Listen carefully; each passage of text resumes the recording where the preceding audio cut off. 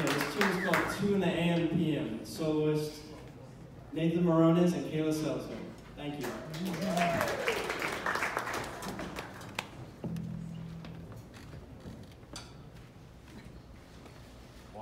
Two,